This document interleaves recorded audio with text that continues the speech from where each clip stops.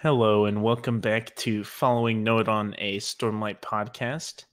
This week we are on episode 36, where we will be discussing chapters 45 through 49 uh, in part three. How are y'all doing today, men? How are you doing, Trevor? I'm doing well. Thanks. Thanks for asking. Thanks for doing the intro, shaking it up a bit. How are you, My Paul? pleasure. I'm doing great. It's it's been a good week. It's been a real good week. How about you, Eliot? I'm good. I'm good. I feel like you're stealing, Trevor. You better watch out there. exactly. That's I'm I'm gunning for your job right now. So You're doing great. I'm not concerned. Thank, thank you so much. All right. So getting into this, um, I did the intro mostly just to avoid doing two words. So what are your two words this week? My two words for chapters 45 through 49 were camaraderie and justice. Okay. Camaraderie and justice. Okay. What about you, Trevor? So my words are in tandem with each other, and it is quiet conversations. Okay. So we have quiet conversations and camaraderie and justice. Did, did I get one of those wrong? Okay. Nope, that was it. Cool. All right. Well, I'm looking forward to diving into this. It's going to be a good week.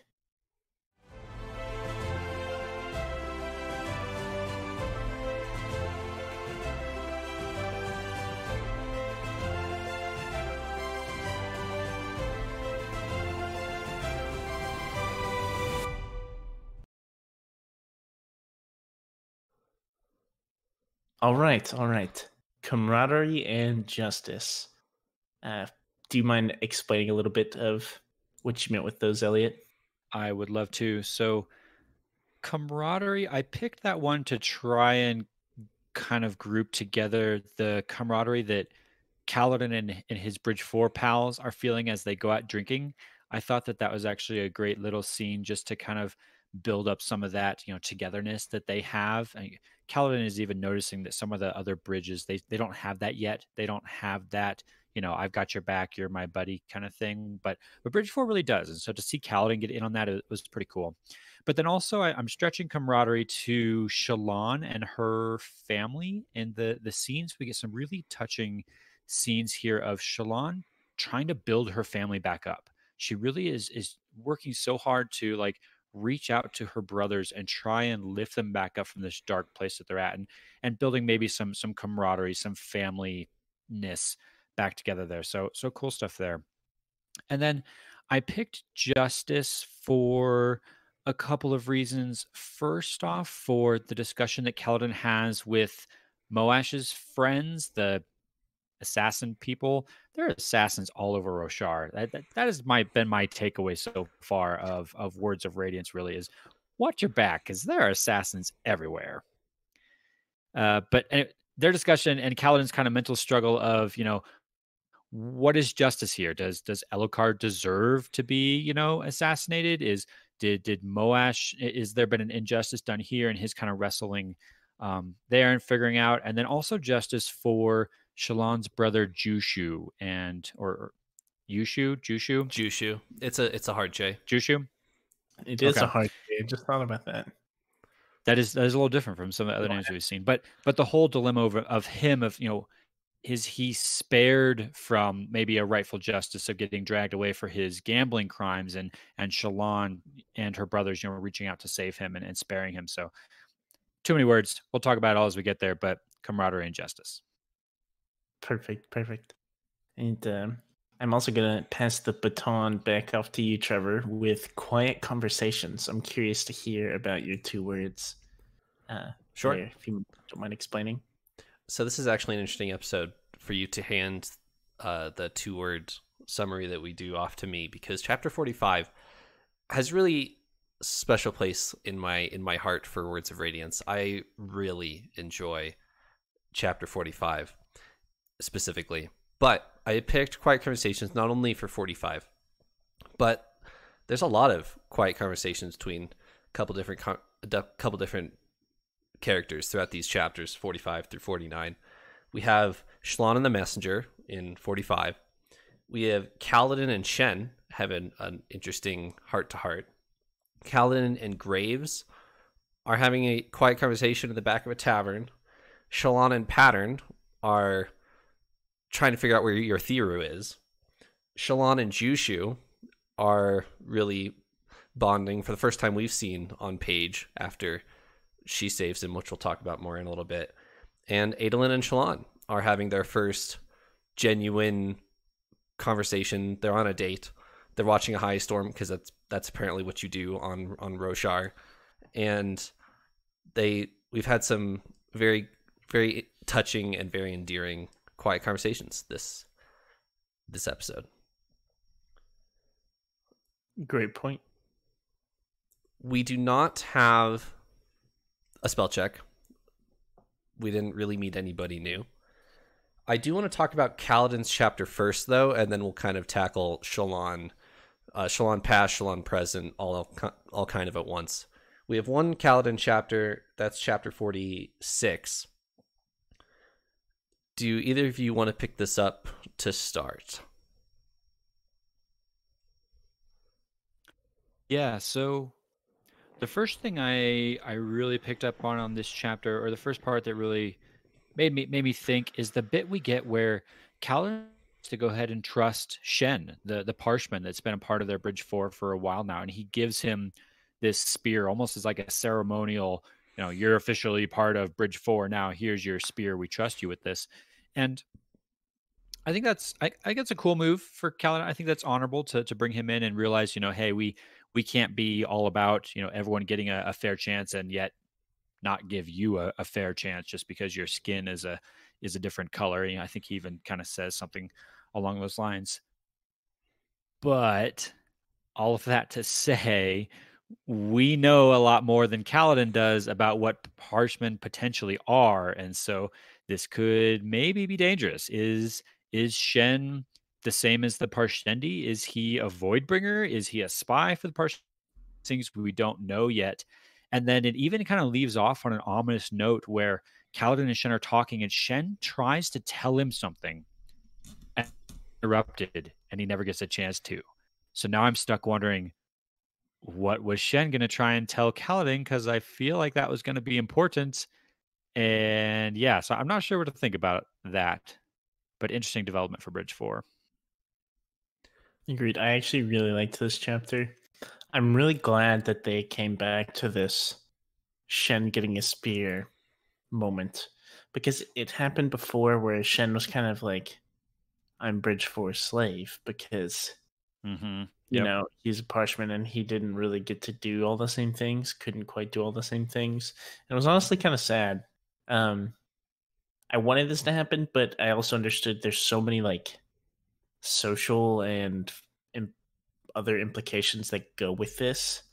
Um, number one being if people see a parch- parshman carrying a spear, they're gonna start asking questions. They're already having questions probably about our our dark guy's captain. Is that what he is? Is that mm-hmm. what Kaladin is? Yeah. Um. And so, kind of all the stuff there. And I, one thing I want to highlight so I guess Kaladin went to Dalinar with this, asking, "What do you think I should do?" Um, and Dalinar was just like, "Well, do you trust him?" I believe that was the question. Um, or do you think this is the right decision? Pretty much. And I guess Kaladin thought about it and was like, "Yeah." And I kind of liked how simple that was. Um, Dalinar wasn't like, "Oh, well, like if we do that, then this is gonna happen." All this stuff, you know he kind of it's it's another example of how little Dalinar cares about like the social norms or political things going on. Sure. Um, and stuff. And I th- there's obviously the risk or the the looming threat of the Voidbringers, but I'm not too worried about it. If it's just one of them, I mean, I guess he could go berserk and kill some people, which would not be ideal. But um, I, am not too afraid. I, I think this was kind of a touching moment, even though I don't think it would make that big of a difference. I don't know. I'm just really glad that they came back to this and kind of gave us a little bit of closure on that. Um, While we're on the uh, topic of Parshman and Parshendi, I do want to bring up something here. If Shen is a spy for the Parshendi, if you want to call it that, and if the Parshman form is just if they're the same race as the Parshendi, they're just in a different form. And Shen has the potential of storm form. I want you guys to remember back to Eshonai's chapter that there was a very specific event that happened to Eshonai's mind and that it suppressed the rational side of her mind. So if that were to happen to Shen, we might have a problem. That is true. And I feel like my only thought with that is I don't know how big of a difference that spear would make. like if it's in storm form, you have bigger predicaments at hand. If if he's in the storm form, not like oh, like if he only didn't have that spear, we would have all been fine. You know, right? I feel like uh, it won't be that big of a deal. So I was very happy with this. But um, on the other hand, if push comes to shove, and Shen starts rebelling or whatever that would would look like, he could remember that no, Kaladin treated me fairly, even though nobody else did. So maybe that maybe it's a good thing. So who knows? Mm-hmm. That's what I was leaning towards. That's what I'm hoping for. I do think one one one thought I had about this specifically. This is like a worst case scenario. This would be a big tragedy, and it's if, let's say, Shen betrays, and he kills someone really important to Kaladin. Then that really hurts his view of his holistic group of Bridge Four. Obviously, Shen has been an outlier because he is a Parshman, but he's always had this like no man no man left behind mentality. Right. Um and I feel like that kind of burst his bubble with that. Um if he was betrayed. So I don't want to see it, but I'm kind of afraid that would happen. Like Shen would just in his own conscious mind, like I don't know, kill another bridgeman or something. I'm I'm guessing if I were to guess, I, I would guess that the story is going in the direction of Shallan at some point is going to try and convince everyone that the Parshmen are Voidbringers and they need to be, you know, not trusted, distance, all of that. And Kaladin's going to be stuck with this, you know, tough moral decision of, hey, Shen's been a really loyal member of Bridge Four, and now I'm being told he's a Voidbringer and I can't trust him. You know, what does he do? That's that's I'm, I'm guessing we're going we're heading towards that moral dilemma for for Kaladin, and we'll see if he has to make that decision or not. That'd be my guess. It just dawned on me that Shen isn't on my uh, Bridge Four poster. Ooh. Uh oh. I don't know how I haven't thought of that yet, but interesting. Anyway, so yeah, interesting stuff about Shen there to start the the chapter off before Kaladin goes off drinking with the crew. Which I do want to bring up because as far as technicality goes, Kaladin is breaking the rules here. The there is an Alethi Alethi code of war that we got shoved down our throat all of the way of kings by Dalinar, who was insistent that all of his officers and he wanted all the rest of the high princes, but he doesn't actually have the authority to enforce that to follow these Alethi codes of war, and that well, one of them that Adolin follows is that you will you will not be drunk ever. Eh, you're not allowed to ever get drunk, and so Kaladin going out drinking with his his men that's actually breaking that, and Kaladin is an officer. There's an asterisk there because he's kind of outside the chain of command as we as as they explored a little bit at the end of the Way of Kings when Kaladin got this position. So maybe there's maybe there's a little bit more to that, but Kaladin's breaking the rules here. There there might be another kind of gray line there and that does Kaladin actually get drunk here or is he just, you know, a few like it's hard to tell. Maybe we don't have enough enough description of what's going on here to to see, but but yeah, I, I, didn't think about that actually when I when I was reading through this that this could yeah be be a violation of the codes that Dalinar is such a big proponent of.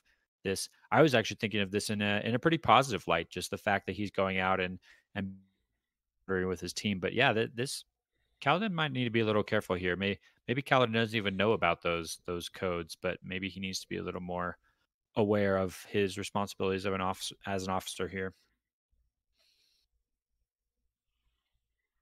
you're you're certainly supposed to think of it in a a, a lighter tone as more than Kaladin breaking the rules. He is supposed to be communing with his his friends and his men, and you're supposed to be encouraged by that. But just a just a side note there. Mm, I think this did a great job of showing that community.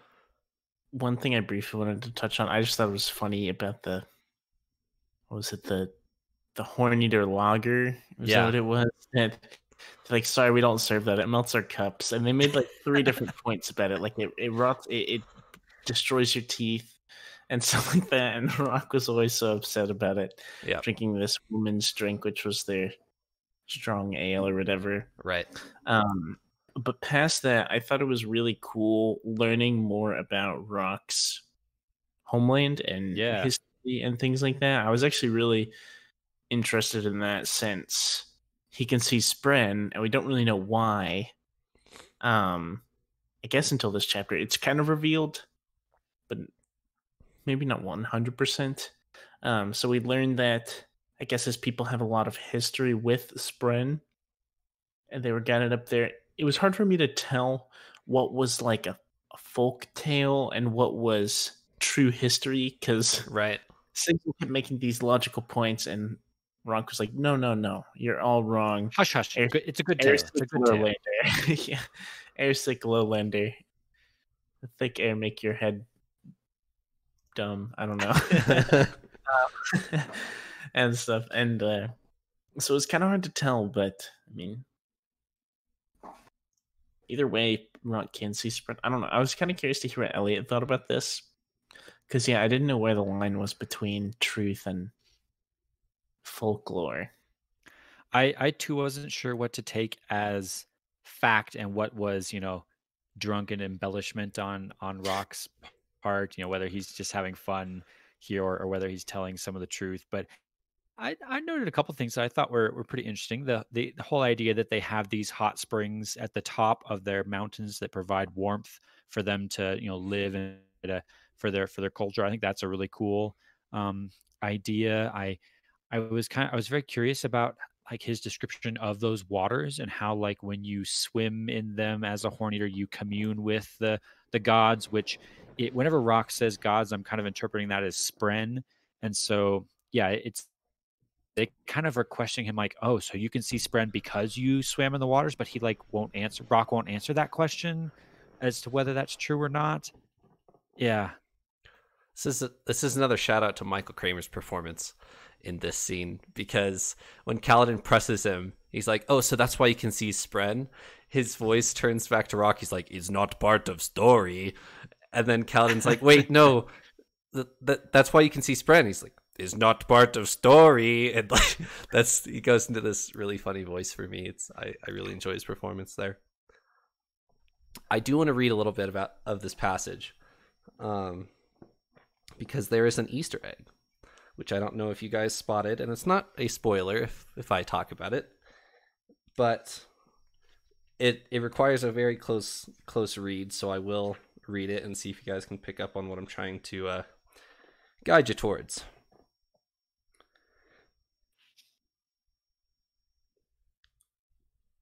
Now they're just hot spring. they're just hot springs, Sigzil grumbled, but returned to his drink. Rock rolled his eyes. On top is water, Beneath is not, is something else. Water of life, the place of gods. This thing is true. I have met a god myself. A god like Syl? Kaladin asked. Or maybe a river spren? No, Rock said. He leaned in as if saying something conspiratorial. I saw Lunu'anaki. Lunu Anakai, Rock said, is god of travel and mischief. Very powerful god. He came from depths of peak ocean from realm of gods. What did he look like? Lopin asked. Like person, Rock said. Maybe Alethi, though, though skin was lighter.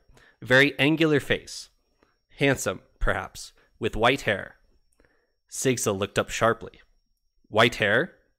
Yes, Rock said. Not gray, like old man, but white. Yet he is young man. He spoke with me on shore. Ha! Made mockery of my beard.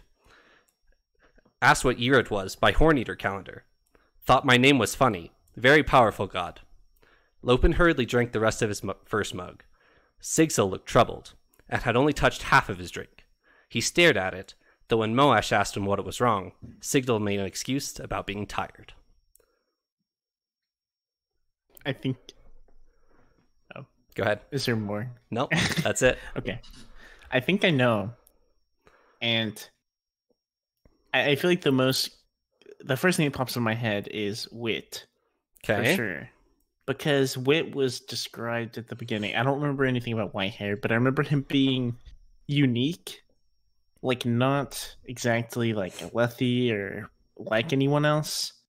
But I mean he's not like a crazy looking monster or anything. I mean, he's like a normal person, just a little different than everyone else.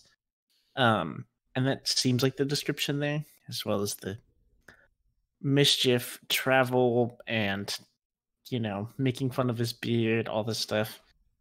It's definitely reminiscent of wit. Um, so that that's my definite first thought. Also with Sigzil, because there's there's a connection between Sigzil and wit, right? Yep. I forget what it is. He was like his apprentice. He's or apprentice, yep. somehow? Okay. Yeah. So I'm assuming that's what the the coyness there with with Sigzil was about as well. Eliot? Paul's thinking the same things that the white hair is throwing me just because Wit is described as having black hair, which is going to be important here in a minute. It is going to be important here in a minute.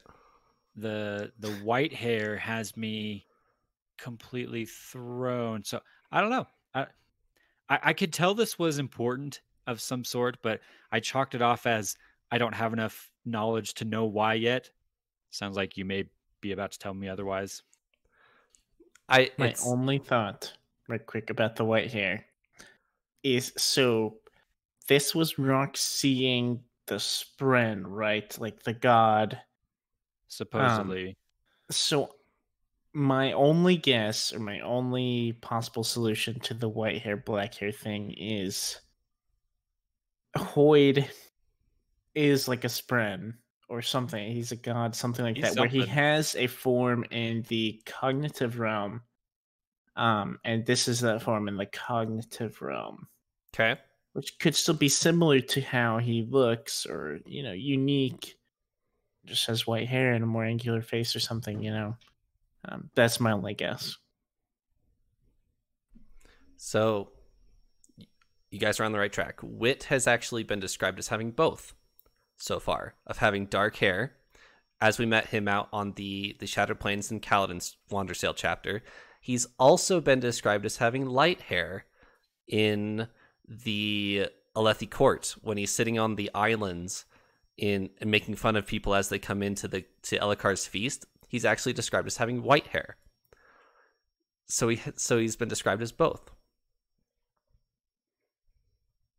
And then the f- the fact that Sigzil uh freaks out at the at the description. So just Rock, Rock and Rock and Hoid have had a running in. Interesting.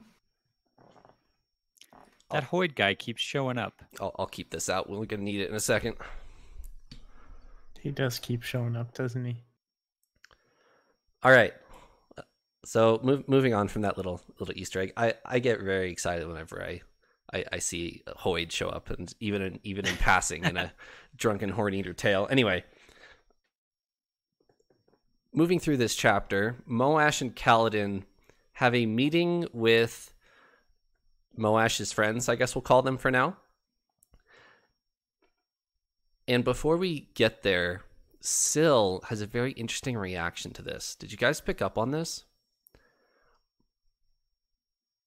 I I did notice that she she warns Kaladin like as he's walking into the room. She says something like "Be careful" or or something along those those lines.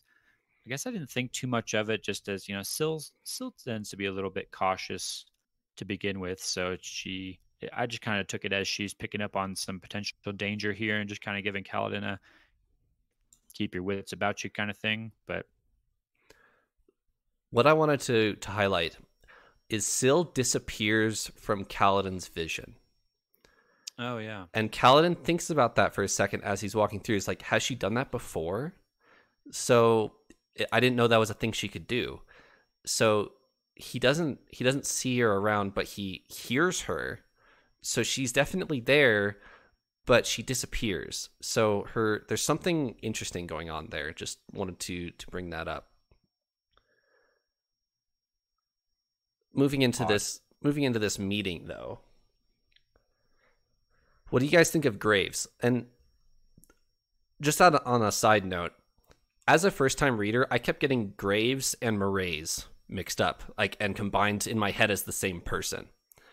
They are not the same person, two completely different people. So Graves is because they're both like kind of shadowy figures working behind the scenes in the in the war camps.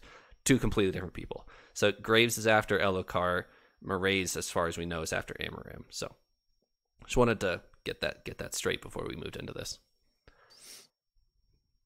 One of my first thoughts about Graves was, or this whole situation, I was a little upset because I still had, I still believed that Moash had a shard blade, and it was going to be a major reveal. I think this kind of crumpled that up and threw it out. So we, we've learned that unexpected people have shard blades, so I would keep that crumpled up paper, you know, somewhere close by maybe and not quite throw it out. Mm, true. I I was like 90% expecting to be the ghost bloods and so as as as the book is describing this scene of of Kaladin walking into this this group I'm looking for any kind of parallels I can tie back to the group of ghost bloods that Shallan met with, you know, any character that I can say, "Ooh, yeah, that was the same person." But I didn't see that. I didn't see anything to hint that these are the the Ghost Bloods, which was a little bit surprising to me.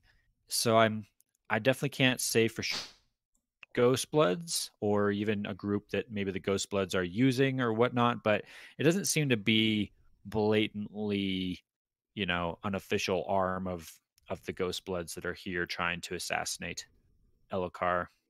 Hard to tell though. Right. I want to I want to highlight Graves's approach here. He's very much trying to approach Kaladin as his friend. And Mraize last week was not doing that with Shallan. Mraize was very was approaching the the meeting from a position of power. It's like I I could kill you any second I wanted with this blow dart. That's how that's how the meeting starts. Uh Graves introduces himself and says, "Hey, come have it. C- come sit down. Come have a drink, and we'll, we'll, we'll chat." Kaladin doesn't want anything to do with it. He's just like, "Why are you trying to kill Elhokar?" And Graves is like, "Whoa, uh, well, we'll get there." And he tries to sweet talk him a little bit, but Graves is very tactful and he knows his audience. Moash has obviously told Graves about Kaladin because of the specific wordage he uses here. Graves talks about be the surgeon this kingdom needs. And that that resonates with Kaladin a little bit too much for Kaladin's liking. He he walks out of like well we'll go back to the meeting in a second, but he walks out of the the meeting and he's thinking about those words. He's like, "Gosh dang it. Why did he have to say that?" Because I can totally understand his point of view of of Elhokar and being the weak link in in uh, in Alethkar. So Graves is really smart with how he he approaches Kaladin with this. He he's not only smart, he's he's really honest, or at least he comes across that way. He seems to like truly believe in his cause. He he's you know trying he's, he's convincing Kaladin or trying to convince him, but he's doing it in a very effective way. It, it's not like you compared him to Mraize, where he's you know threatening Kaladin to do this or trying to manipulate Kaladin. He's just kind of straight up telling it like like he sees it. You know, hey, I think Elhokar's a terrible king. Here's some pretty good reasons why I think he's a terrible king. I think Dalinar would be a better king, so I'm gonna kill Elhokar, so Dalinar will be king. Like it's all very logical. It's all very like it, it makes sense. You're not looking at this guy thinking, oh, he's a dirty, underhanded manipulator. It's like, no, this guy's more of just like a a zealot who's has a rather crazy cause that he believes in a lot. I mean, it's I, am kind of with Kaladin that like you, you kind of don't want to fault the guy. You you kind of want to say, yeah, I mean, you admire someone for going after their passion, but then you you think about what it is they're talking about, assassinating the king, and like, hold on a second, there's got to be better problems than just you know going around assassinating folks. So I th- they have put Kaladin in a in a sticky place, I think.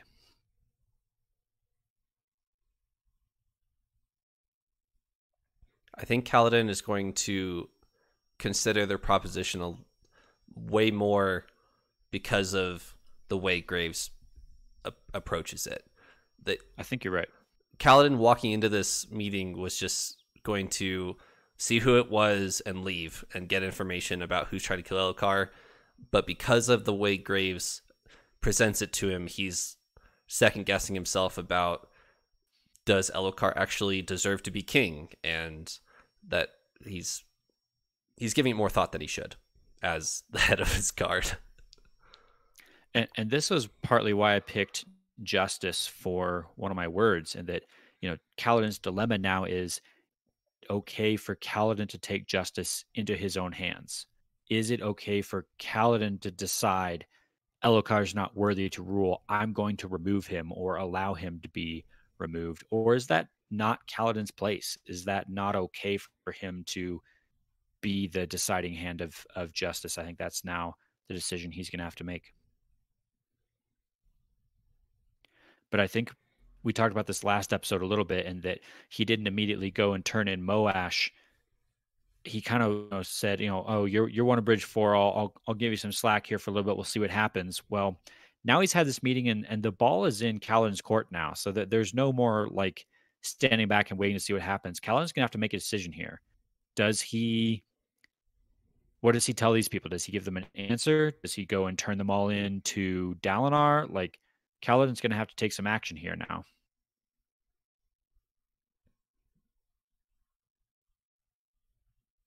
Uh, Paul, what are your honest thoughts on Elhokar? On Elhokar? I don't think he deserves to be assassinated. That's kind of been his whole shtick throughout the whole book. I feel like er, everything we've read so far, not just this book. Mm-hmm. Um, getting assassinated, his paranoia of it. Um, he's kind of a he's definitely portrayed as a big idiot. He kind of lives up to it, but they are a little harsh to him, but I mean it's kind of rightfully so. I don't like him. But he's still like pretty important. Now that I say that, I don't know fully how important he is. I, I actually think the importance of his character is this. It's Dalinar is basically vowed to protect him because he's so distraught about Gavilar still, and he's still torn up about what happened. That this is kind of his character to almost care for or protect, kind of like a semblance or memory of Gavilar. Um, and I feel like that gives Dalinar a whole lot of purpose. And I feel like without that, Dalinar still like let's say Elhokar gets assassinated and dies, Dalinar is still going to be Dalinar and I think keep doing what he's doing. But that would hurt him a lot. Like he would be very devastated with that more than anyone else. I would wager him and Navani, I guess. Um. So yeah, I think his purpose to call it is a little more abstract almost. He himself isn't a great character but what he does for Dalinar is kind of unique, and I like that. Sure. if you think back all the way to the chapter where we met Dalinar, Dalinar, Sadeas, and Elhokar are all on a chasm fiend hunt on the Shattered Plains. And Dalinar's motivation to go save Elhokar and kind of how kind of our introduction to Dalinar is my brother died. I have two things left of him his kingdom and his son. And I'm going to defend both until I die because I failed to uh, protect my, my brother. So even even if Dalinar could be convinced that he would be a better king than Elhokar, there's no way that he would that he would want that over over Elhokar.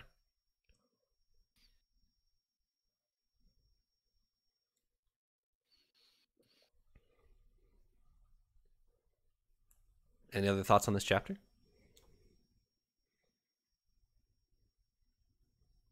Don't think so. Okay.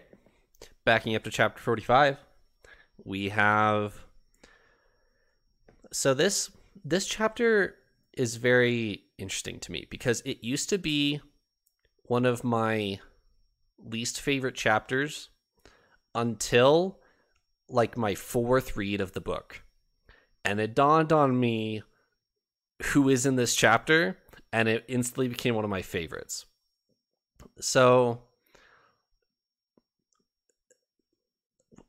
we won't get there quite yet because that's this that's that last like quarter of the chapter. But this this chapter is titled Middlefest, and it's a Shallan flashback chapter, and it's Shallan. She's kind of frantically running around this festival, trying to make her family feel better.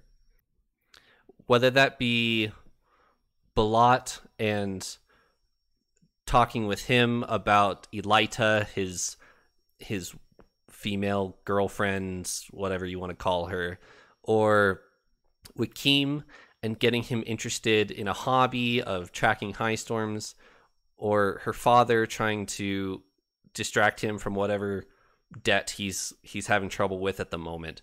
She's just trying to run around and keep her family happy. And it isn't till the end of the chapter that we get to our our special scene, but what were your guys' thoughts on the on the Middlefest chapter?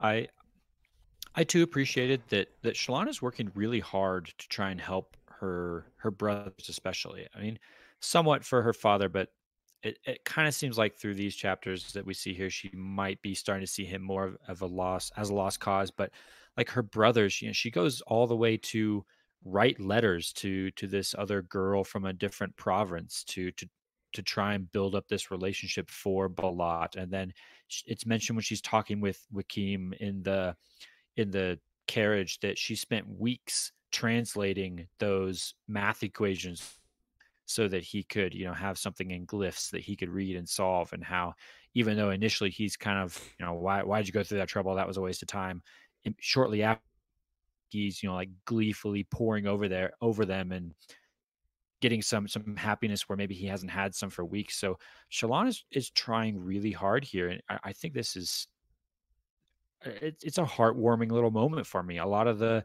a lot of the Shallan flashback chapters have been really dark. We, we've seen her family in a lot of broken places, and to see her, you know, starting to repair some of that brokenness is is really heartwarming. I've said a lot of times on the podcast that Shallan is one of my favorite Stormlight characters but not in the way of Kings. I don't think she gets very good page time, if you will, in the way of Kings, and I don't really enjoy her character that much. But this is the character arc. This is the character development that really uh, attracts me to Shallan as a character, and she is trying her best to keep her family together through all of what's through all of what's happened, all of what's happening. So So what I liked, what I was most excited for whenever I started this chapter was, it's kind of reminiscent reminiscent of Kaladin's flashback chapters, but this is more of a Shallan version. So we've had Shallan flashback chapters, but like I said, they're dark and kind of mysterious and short. It's like a few pages and and then you're done and you're like whoa what was that? What's happening? Uh, but this was just kind of a story um, of a of a major event in her past. It was way more straightforward um, and way more like telling of things going on and personalities and things like that which i kind of liked. I, I, was, was kind of looking forward to one of these um, even though i actually really like the style choice i guess of these like short glimpse flashbacks. Um I do like seeing how much it, it really does portray Shallan as like the only n- normal one. Her and maybe Helaran, what yeah. we've seen of him, um, only like a normal member of her family, which still doesn't sit right with me. If I'm being honest, I don't know. I feel like either she has to have something that we just haven't seen completely, or, or I don't know. It seems weird that she'd be the only one that's like. sane. Um, but yeah, frantically running around doing stuff. Um, yeah, I, I really enjoyed this chapter though. There was a whole lot of stuff which we're gonna get into more of here coming up. Um, let me just kind of let me stop you there early... for a second. There's, I it's probably like a paragraph where she's just finished meeting with Balat and in this chapter and she thinks of her mother for a second and freezes. And then she has no idea how long she's been sitting there and one of her uh, one of her house guards walks up and says "Shallan, are you okay? Like you like she he just finds her in a corner just standing there. So i would hesitate to say that Shallan is the only normal one because there's certainly something there that is not that that, is not healthy in Shallan's head. She's just the narrator, so we don't like have all the pieces because we're seeing Balat and Wikim and Jushu from an external perspective. They're not the point of view. Shallan is the point of view, and there's certainly something that's being alluded to there that's weird, but we don't know what it is. So just just hold the hold the Shallan is the only normal one because that that's fair. That's fair. I guess my thought with that was the I feel like the worst, I guess, habit or thing that we see happen with Shallan is like an internal like thought or worry, which seems normal. You know, that's like a normal thing, but I guess we're not saying from the external perspective how that could be affecting her or affecting other people or things like that. Um, with the others, it's very obvious. It's like a physical, like Balat's torturing of animals is very obviously disturbing. Um, yeah. There's problems with gambling and all sorts of stuff and everything. So in that sense, Shallan has definitely been shown as the normal one. But you're right. You're right. I will kind of slow that thought down a little bit. Um, because it is from her perspective. All right, we've been dancing around a little bit, but uh, who's in this chapter, Eliot? And Paul, did you pick it up? So I did not get this on my first read, but the second time through, as I was taking my notes, it dawned on me that this messenger here talking talking with first Shallan's father and then with Shallan herself can be no other than our our famous wit or or Hoid. And the the description of him that's given here matches pretty much word for word the very first description we get from Wit in in Way of Kings. That he's described as, you know, deep black hair, black clothing, blue eyes, slender build, even just the way he talks should have should have kind of been a clue i think to me that the first time that this this has to be wit. I'm i'm 95% sure that it is. I didn't i didn't realize that this is wit until like i said my fourth read of the book. After i'd read oathbringer after i had read the way of kings a couple times and i came back to this scene i was like wait, I I didn't even realize, but yes, this is this is wit. I did not pick it up until y'all were like, "We've seen this character before," and I was like, "I think that was wit." Yeah, that. So I, I didn't, I didn't pick that up on my read through on my own, uh, but it does make perfect sense with the questions asked and things like that. Makes perfect sense that that would be wit. Um, there's a couple different, and, there's a couple different actions that wit takes in this in this chapter that are very strange he turn when when he first sees her, he does this huge double take and says, "I was not like expecting." He recognizes her. Right. I was not expecting to see you here, and you're like, "What? Like, does he does he recognize her? Does has he seen her before? Does he know who she is? What what what is happening here?" And then the story, he he talks with with her about the conversation. I'll have a quote here in a little bit, but I'll let Eliot talk a little bit about this because I, I can tell he wants to uh, wants to talk about this a bit. So, Eliot, take it away. Yeah, yeah. I, as soon as I realized that this is is Hoid, yeah, all the questions start to arise because, like you said, he he seems to recognize Shallan. Why? How? How in the world would he recognize Shallan? Or is it like he can immediately pick up on her surge binding ability because end of it he talks like specifically about illumination and surge binding and how he, he even almost talks like he's done that kind of surge binding he's like oh yeah that was hard for me when i first started but but you'll get the hang of it kind of thing I, i'm paraphrasing so it may not be that direct but that's the impression you get which as if we didn't have enough questions about Hoid. Now we have more questions about Hoid. Is he a surge binder? Is he a spren? Yeah, like what what is he? And that's just the start of the the questions. There, there's even a few other like confusing things that he does in here, but I I guess I kind of left this, Trevor. I'm I'm not surprised at all to hear that this is your favorite chapter of of Words of Radiance because this feels to me like perhaps the the Wandersail moment for Shallan, where Hoid had his conversation with Kaladin out on the Shattered Plains and tells a story and and kind of plants that seed of inspiration, if in Kaladin. Is this the moment when he does that for Shallan? kind of, you know, blowing the ember, if you will, to kind of make it become a fire and kind of ignite her abilities, if you will, it feels like this might be the moment. So I'll go ahead and read a quote. This is after they have a brief parable, if you will, about beauty.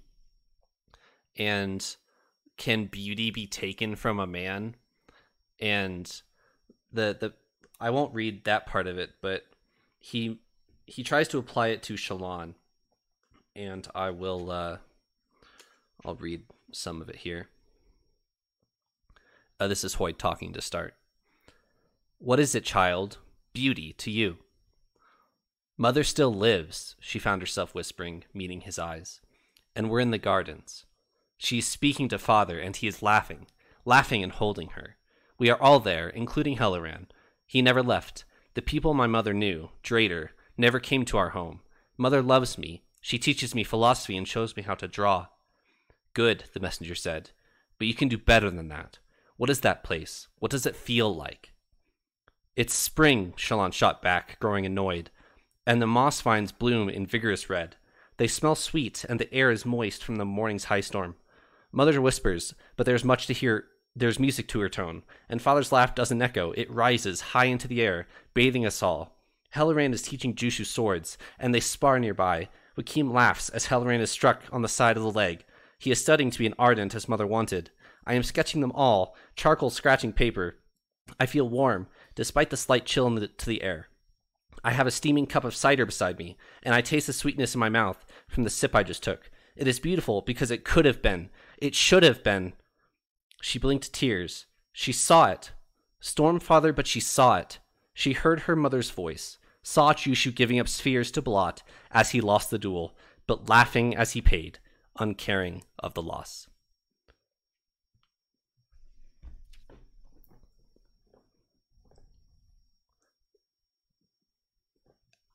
as Hoid is provoking that story from her, he holds out spheres in front of her and she sucks in the stormlight and like the space between them starts glowing. And Shallan doesn't really realize it at the time, but the reason why she's seeing this is because she's light weaving it in front of her as she's saying it. And Hoid is kind of egging her on to this, making sure that he's he's affirming to himself that she is who he thought who he thinks she is. She's he's making sure that she can she can surge by and he's talking to the right person. But he's he's trying to get her to think about beauty in her own life and what that could look like. And it's a really cool really cool image for for Shallan, especially young Shallan who's gone through all this trauma and is trying to make things work. Um, but as the scene goes, she looks over at Wikim, who's in the carriage. He he didn't ha- he he didn't even have the energy to get out of the carriage and enjoy Middlefest. He's sitting there in the carriage, probably because he was forced to come down from the manor to to this festival, and he's just waiting to go back up. He also Wikim also mentions before this scene that he probably won't live long enough to see all of them be happy. So why should Shallan try? And it's really dark. Like we we it comes back up in uh, chapter 48, but at this point, Wikim has Blackbane on him, like on his person. So the fact that Shallan looks back over to him and he's smiling, trying to figure out these math problems that she uh, put into glyphs for him. This whole scene is so so cool that Hoid's right here, and apparently he wasn't intending to meet her here, but he still takes advantage of the situation and tries to have her see beauty, which I think is a really cool chapter. I I love I love how encouraging this is, even though he's even though he's maybe like forcing Shallan to like go through something a little bit painful and that she's imagining this beautiful scene but she's imagining what should have been and not what isn't and he's kind of teaching her about how even though you're in a terrible situation you can still find the the beauty there and he even kind of you know after going through this story about you know can you take beauty away they end on you know well, if a person is in such a terrible place, what does beauty look like to them? And Shallan's answer back to him is, you know, those moments when there's less pain. Oh. And and Hoid kind of is is like, yes, that's it right there. Do not despair. Do not end the hunt because thorns grow in your way. Giving her that little nugget to kind of hold on to, that encouragement of, you know, don't don't stop cutting the the thorns down. Keep keep fighting and you can find the beauty. Like that's exactly what this poor traumatized Shallan needs to hear at this uh, at this point here.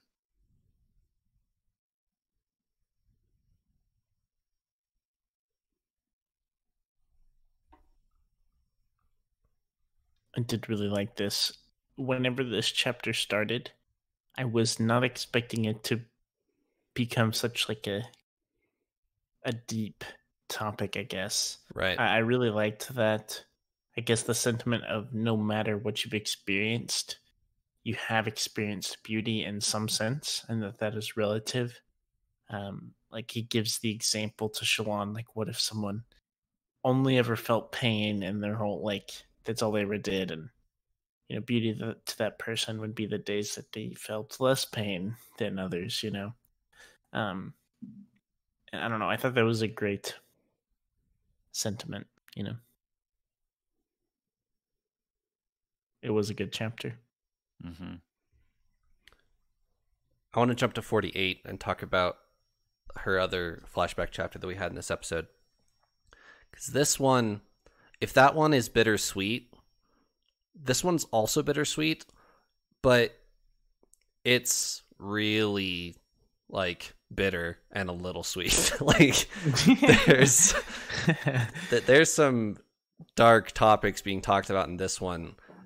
There's these basically slave traders who show up at the at the door to uh the Davar Manor and they have Jushu like chained to the back of this wagon and they show up to Shallan's dad and say he promised us that you would pay his tab because he's I don't remember how how many spheres he is in debt or whatever and her her dad is no sympathy for him.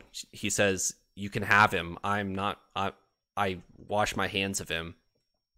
And it's Shallan and Balat, mostly Shallan, but Balat does give up his dagger to uh to save Jushu, and th- this is really the chapter that highlights how how much Shallan is keeping the house together. That she is quite literally keeping Wikim alive, giving him the motivation to keep living, and then keeping Jushu out of slavery to pay his his gambling uh, addiction, and she basically begs these guys to let him free, even though it's only half of what uh, what Jushu owes. So she's the youngest of her family, and she's doing all of the all of the work to keep the family together.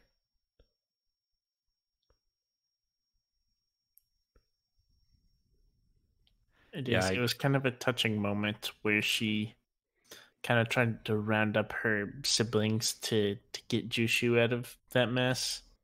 Um, they kind of all like offered to give something. Well, not all of them, but you know, Balat gives up his dagger, and she's ready to give up her necklace and stuff, which both have high value and things like that. But it was touching. It it really was. This was a really powerful chapter be, because of that, because Shallan pulls them together, and it really is building that bond between you know all of them to to where the point where they're willing to sacrifice for to save their brother, even though he doesn't deserve it. You know, I, I think Right. Lord Davar and Balat, I think, even says this too. Like they told Jushu this was going to happen. They warned him, "Hey, man, you got to stop doing this, or it's not going to end, you know, well." Well, it didn't end well, and he had every chance to turn it around himself. And does this? Yeah, he probably does. But but Shallan saves him anyway, and that's really that's really powerful, and I really I really love that. But like you said, Trevor, the the bitter is a little more powerful in this chapter than the sweet because it doesn't end on that. It doesn't end on and Shallan saved the day. They they rescued Jushu even when he didn't deserve to be. It ends on their father basically going into a rage because of all this and saying, you know, things are going to change. I'm sick of this. Right. Like, e- yikes. he beats some of the serving staff outside of Shallan's room and then storms Uh-huh. into her room. Doesn't doesn't beat Shallan, but that doesn't make it you know any better that he's beating the dark eyes. So You it's know- it Shallan's able to you know, she's been able to build up her brothers and gotten them to a much better place, but it seems like their father is slipping further into into darkness. So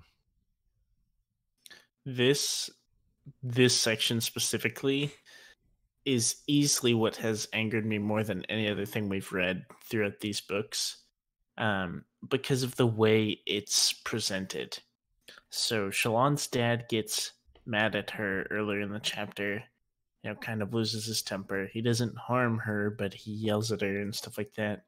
And then at the end he prevent he presents this as his solution. He's like i'm sorry Shallan. Like i've i would know you know i would never hurt you. Um i just need like was an outlet for my anger and he beat a servant like to a pulp Yeah. and was and basically presented this to Shallan that like I hope no one else has has to get hurt like because of your mistakes. Uh, and that on it it really boiled my blood like it really did. It was like you can forget the the bridge runs of Sadeas and stuff. This is what's like upset me the most was that moment. Yeah. I am not a fan of Shallan's dad. he he makes my skin crawl more than any any other character in these books so far, for sure. I'm even a little more upset because I had a little bit of faith that something would happen from that. Shallan is, I mean, they're kind of fed up with him, and they're like, "Stop being mean to your kids," you know, like wake up. Um, and I was hoping for that to happen. I just feel like he's too far gone. Like he's too mad. He's too insane and manipulative and stuff. So I'm a little I'm a little upset. I'm a little sad for him. Yeah.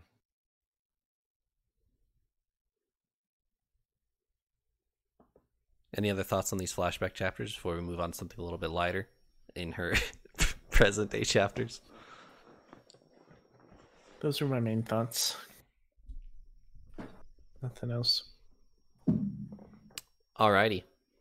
Chapter 47. We have Shallan and Pattern talking back and forth in Shallan's rooms. And Pattern starts decoding, I guess you could say, the the dawn chant. Any any thoughts on on this?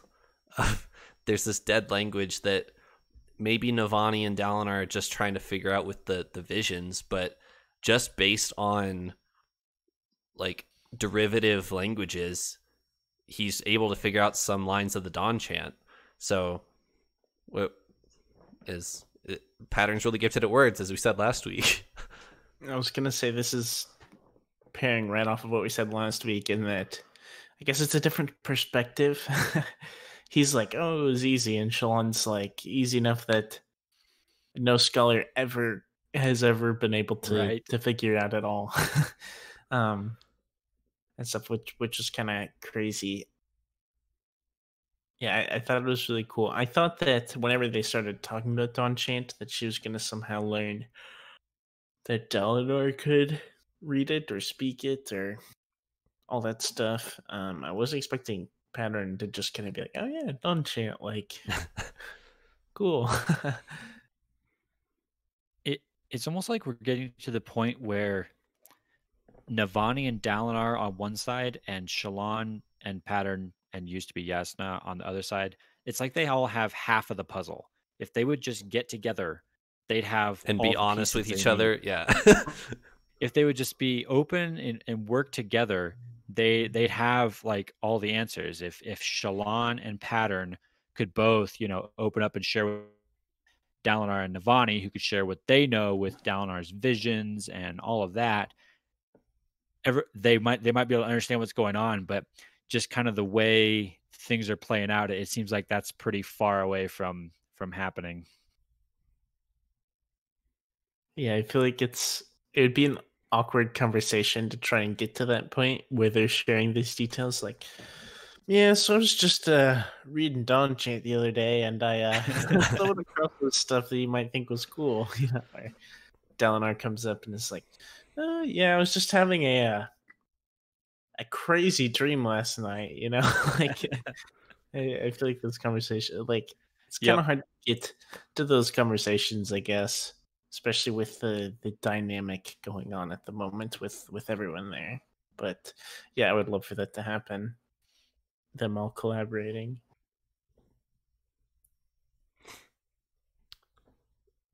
Shallan's trying to find Urithiru. Do you guys have any theories about? She mentions oath gates and the shattered plains, and she has a bunch of maps that all put Urithiru in different places. And do you guys have any theories about about what's happening here? So the the theory, if you want to call it that, that that I have is, is kind of the one that Shallan is is hid. It seems the fact that she has all these maps, and they're all they've all been created by different nations, right? And all of these nations place Urithiru in a different place notably not within their own borders, but nearby. That plus kind of the little nugget is about, you know, oath gates or instantaneous travel, you know, teleportation or something like this. All of that seems does seem to fit with some sort of some sort of answer where maybe a lot of people have been to Urithiru, but not by roads, right? So they know what Urithiru looks like. They know that it's you know in mountains or hills, and they've they've been there, but they can't tell you where it is because they didn't travel there through a you know traditional method. And so it's natural they'd say, "Oh yeah, Urithiru is just over there somewhere," but not really know where it is. So all of that would make sense, but instantaneous travel and gates and teleportation like that that all seems pretty crazy. We haven't seen anything like that as far as I know in the rest of our books we've read. There hasn't been any mention of it in The Way of Kings or Words of Radiance or anything like that. So I this did actually Oath Gates rung a bell with me a little bit, so I did actually go back and search in um in Way of Kings for Oath Gates, and it is actually mentioned in an epigraph. This note from Jasnah's notes about Oath Gates and is one of the epigraphs in Way of Kings, but as we were talking about earlier, maybe it was last episode, the, the the epigraphs in Way of Kings are so out of context they don't mean anything, and so it was one of those where you passed over it like that means absolutely nothing to me, and so this is now we get a little bit of context for what that note means, but we still don't even know what these these are.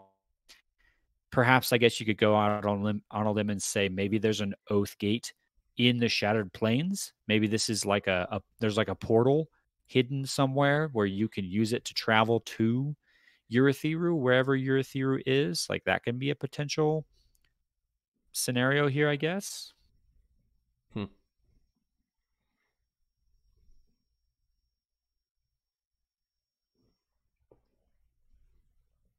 Shallan mentions Nohadon. Actually, hey, Nohadon sighting. Actually, Pattern mentions Nohadon first.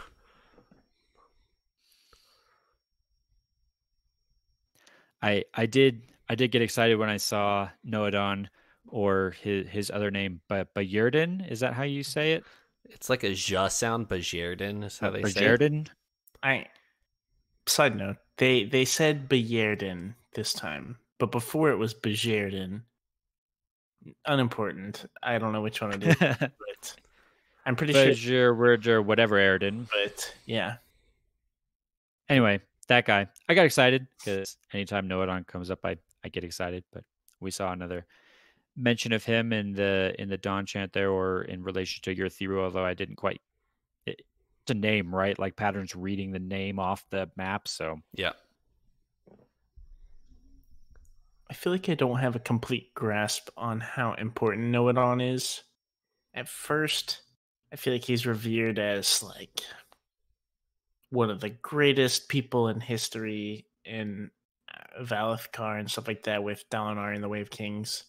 And then as the flashback chapters happen, it seems like they kind of lower him a few rungs. Like he didn't really know what was going on at the time. Maybe he had some great revelation later in life or something, and a good thinker, but I don't know. But now all this correlation to Urithiru and stuff like that makes me think he's way up again. I don't know he's kind of been a polar character in my mind as far as how important he is, how strong he was, or smart, things like that. Sure. Don't quite know what to make of him, but I mean, I'm a big fan. But he's interesting. It kind of makes me chuckle that you guys wouldn't really be giving Nohadon a second thought if not for the title of our not for the title of our podcast. Really? Nohadon. Cool. Next. right.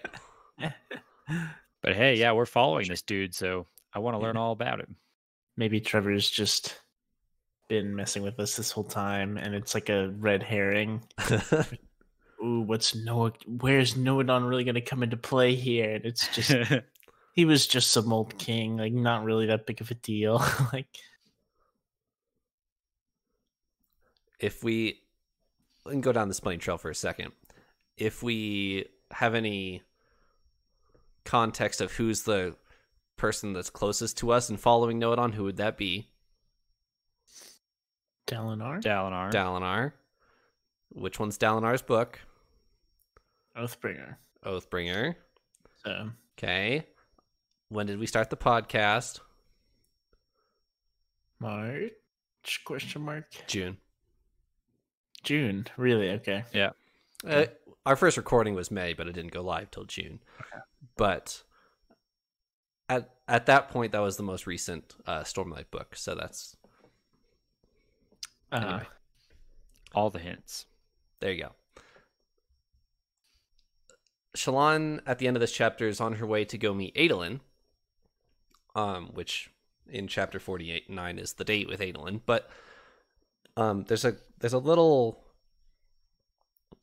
side piece here in 47 where she's in her carriage and she creates this illusion in front of her of Sebarial. And it's ex- she says it's extremely detailed but doesn't move. So um this is kind of something we haven't really seen before of her creating a full lifelike image in front of her as opposed to on herself. We've seen her do it like to hide her face or to change her hair or something like that. But we haven't seen her create an image this realistic in front of her yet. So this is kind of something new, I guess you could say. She's definitely getting better. She's definitely getting quite a bit better at it as she as she goes. She's developing more abilities and more refined ways that she can do this. She still has to draw though, which again is still the kind of interesting point for me in that she she can't do it unless she draws a picture of it first. Yeah, she's leveling up, if you will. Sure. And then we jump to chapter 49 where she's on a date with Adolin in this uh this balcony. And Paul, earlier in the Discord you said you were very opinionated about this uh this chapter, so I'll ask you about that here in a second. But just for a little bit of context, since we've been jumping back and forth, this is right after chapter 48. And chapter 48, like we said about 20 minutes ago, is very dark and very somber of her her dad being very evil, dare I say, with that word. Yeah.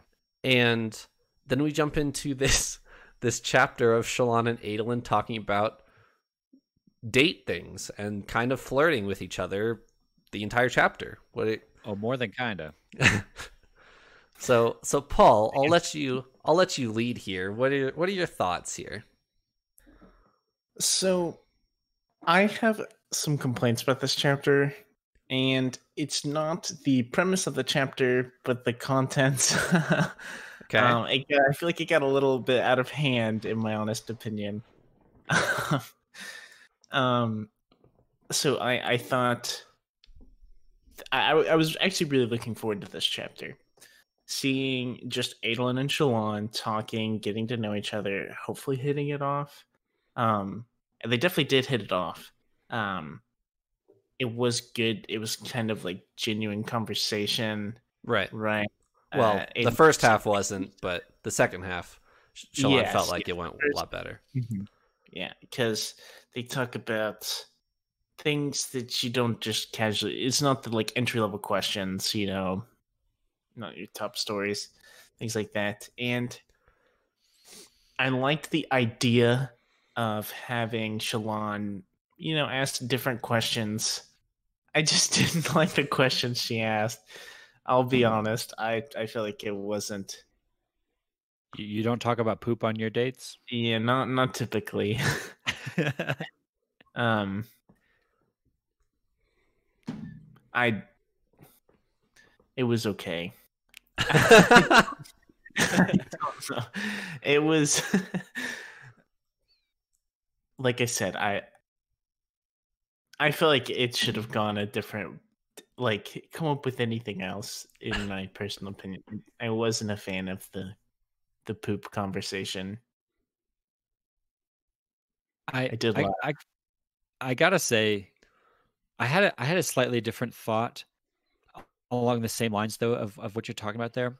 I just couldn't help but like try and picture this scene movie or you know some sort of of did too visual depiction. And my my thought on that was whoever the actress is that's playing Sh- has a really challenging job here for multiple reasons.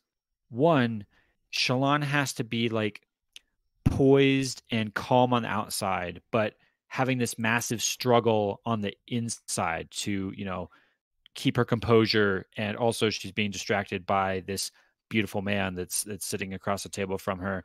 And then balancing all of this with just these ridiculous outbursts that that Shallan is now getting you know known for of just not having these filter like being able to pull all of that off in like a genuine believable way I think that would be really challenging. I would be uh, oh, that actress would have to do a really good job of of portraying that in that that manner. That would be like you read it and your imagination can kind of fill in some of the blanks there to make it believable but that could be really not a great, not a very believable character if it wasn't acted well. Sure. It would seem like a satire or something. Yeah, exactly. um yeah, I, I also I feel like we're almost too quickly running away from original Shallan. This whole this book specifically, but everything up until now has shown Shallan develop past her polite, proper self into a more realistic, you know, strong, uh, confident woman. And I don't know, I, I can't picture Shallan saying these things at all. and I don't know, I, I felt like it just. I feel like you could you could have portrayed the same effect of having this unique, ridiculous conversation, you know, in a in a different way. That's my complaint with this with this chapter. This is this is no filter wisecrack Shallan from right. that mm-hmm. her that her brothers would egg on for her to okay, you're, you're thinking of a joke. What is it? Or or the sailors that we've seen at the beginning of the Way of Kings and the beginning of Words of Radiance, where they're like, "Oh, come on, where's the crude joke? We know you're thinking of it. Just give it to us." So that that's the Shallan we're seeing here. I I think my my takeaways or my thoughts coming out flirting scene between Shallan and Adolin is one, Adolin puts kind of Shallan off her guard. Like he he causes her a little more open and honest than maybe she she would be, right? She's trying to leverage the the Tyn and the Jasnah sides of her to manipulate Adolin into getting what she needs, but then also just kind of being that confident and you know equal to Adolin that she wants to be, so she can move forward with this. But Adolin like kind of brings out in her part of her actual self, which is this you know cheeky girl who has all the you know crude jokes or whatever that she brings out and and no filter and all this. So in, in the end, you get this kind of weird mix of all of them. You get the I, I'm kind of manipulative, but I'm kind of just you know trying to help you and be logical, but at the same time, I'm goofy and quirky and rather quite strange at the same time. And all of that being said, Adolin likes her. Like after all of that, Adolin still leaves the whole conversation enamored. It, we like so it, it works I guess. Yeah. My favorite one of my favorite Shallan lines is in this chapter where Adolin mentions the high storm of, of why they're on the balcony and she like gets all pale and Adolin says, "Oh, you're you're really pale. Are are you okay?" And she's like, "No, it, it's natural." And he he comes back with, "Oh, because you're Veden." And she says, "No, because I'm always on the edge of panic these days." Oh, is that our wine? and just doesn't doesn't do it. But that that's one of my favorite uh, Shallan lines. Really... that is great. It, it's an entertaining sequence for sure.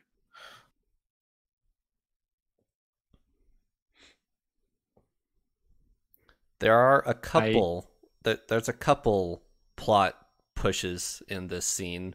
Not a lot. Most of it's just casual flirtations, but we talk about chasm fiends. We talk about void bringers, sort of. In um, Shallan brings it up to to Adolin. Adolin kind of brushes it off. I feel like there's one more, but I'm not remembering it at the moment. Well, she's kind of inexplicably mesmerized by the high storm. I don't know if that's a plot point or not, but it's certainly of interest. What I was trying to think of was Adolin and confiding in Shallan Oh yes. the the uh, Dalinar's plan. Let's Mhm. let's talk about that one first, actually. So that one, I, I noted that in my my notes here. Not only is Adolin kind of putting Shallan off her guard, Shallan is doing the same thing to Adolin because he spills all the beans. Yeah, he Like, does. He tells her the whole plan, which we know Shallan, and we know that's probably fine. But if Adolin had done that to anyone else, we'd be like, "Whoa, dude, what are you, what are you doing? That's the whole secret plan. Why are you telling this to the girl you met a week ago? You know, a few days ago." I, I don't think that was smart of Adolin, but I think it'll be fine because we we know Shallan's a, a good guy. no, Shallan's our biggest villain from the Way of Kings. Don't you remember? Oh, That that's was- right. Yeah, so even above Is Sadeas.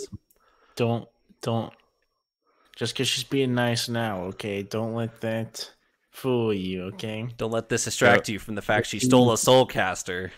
She did it intentionally, okay? Um, Go watch What- our uh, Way of Kings episodes if that made absolutely no sense to you, Yeah. viewers and, and listeners. I did rescind my statement. Point. Before we had some major Sadeas information, I viewed Shallan as one of the biggest villains of, of our stories. Anyways, um, one thing I wanted to say about these chapters, there were some. This is both good and bad in my mind. Um, so one thing I liked was Shallan kind of poses ideas and ways that her and Adolin can work together that would really help her a lot. And we get to see a lot of interesting stuff, like her going to see the, chrysalises and stuff like that um, out on the Shattered Plains. We briefly went over that. Uh, One thing I wanted to say about that, I guess. So I, I think that's awesome, and I'm curious to see how Adolin can almost be a resource to Shallan and vice versa. Um, but the way it was set up, I'm almost a little afraid that it'll spend too much time on that, specifically with the Shallan presented this idea of like breeding chasm fiends, which I thought was kind of cool, honestly. yeah. But I hope, I kind of hope going forward that's not fleshed out too much because I feel like it's not a, it'd be a great economic thing for, for, uh, You can you can say boring. It's okay. yeah, it, it would be a good thing, but that's not the plot point that I'm interested in. you know? Um, I think the only purpose it could really serve that's valuable in our character dynamic sense is presenting this to Dalinar or something, and it's a great idea, builds rapport, things like that. Um, but yeah, I kind of don't want to see that fleshed out too much because then I feel like we're getting into Way of King Shallan chapters where it's more just just world building in Sure. a sense. So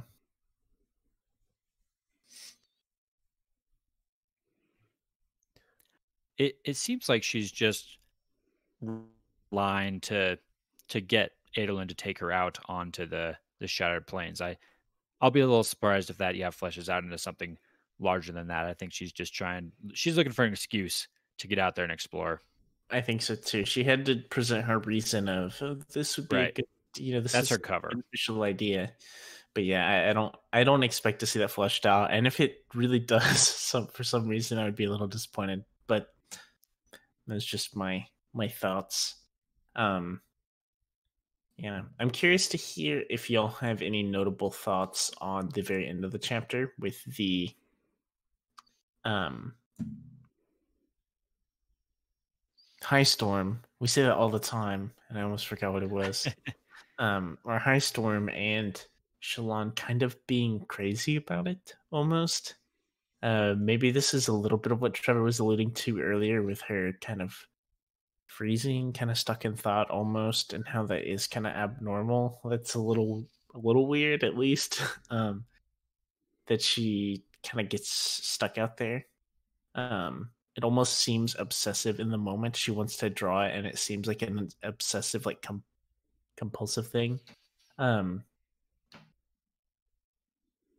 but yeah, I don't know if really there's much to look into it with that. It Or it definitely seemed it seemed of note to me. It struck me as a little bit fishy. It was almost like she's mesmerized by because I, I think Adolin even remarks on this in the in the chapter. Not not five minutes ago, she was like terrified by the idea of the high storm being there, and then you know she's all worried that it's coming and wants to go hide, and then all of a sudden, as soon as she sees it, she's to the railing and can't even you know tear herself away. Like that's an unhealthy, yeah, obsession with with something that's about to kill you, and and you get that that final scene where they you know Adolin finally drags her away. They rush into the the safe house and Shallan's like counting the sec and she's like, "Oh, we had six whole more seconds we could have been out there." Like, Shallan what what are you talking about here, girl? Are you are you gone crazy?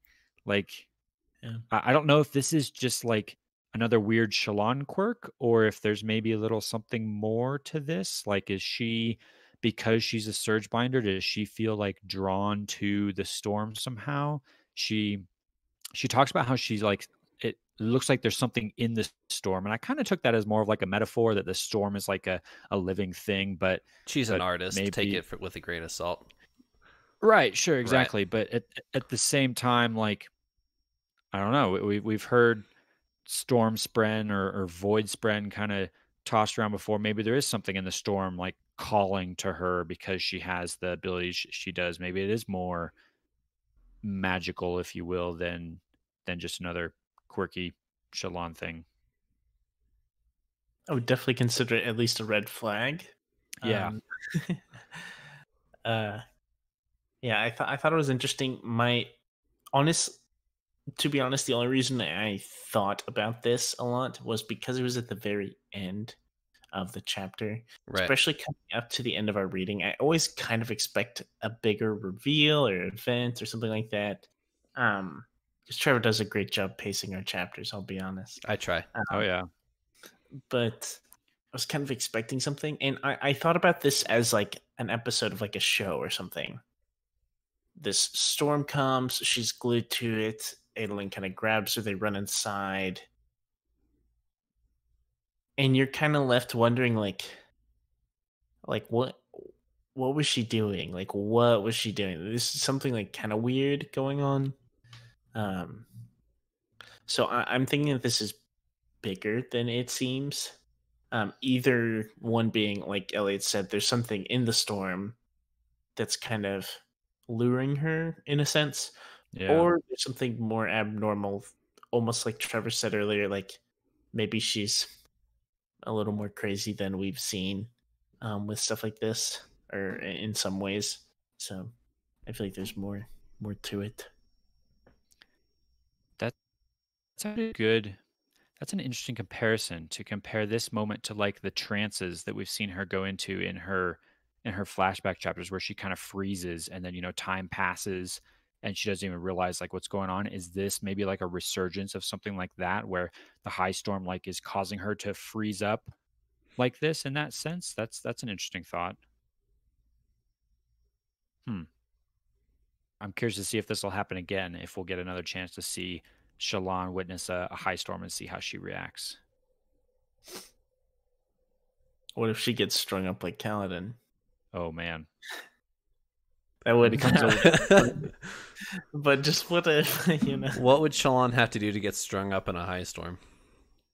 get caught Oh, sneaking around? I don't him? know. Yeah, get caught sneaking into Amaram's place. Yeah. okay. That'd be quite the turn of events. That'd be quite the turn of events.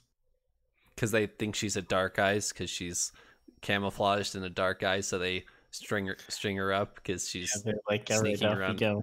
sneaking around Amaram's quarters. And she turns the high, high the whole high storm into some big illusion or something, and ooh, you know, crazy.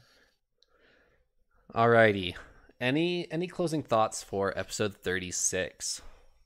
We are well into part three of Words of Radiance.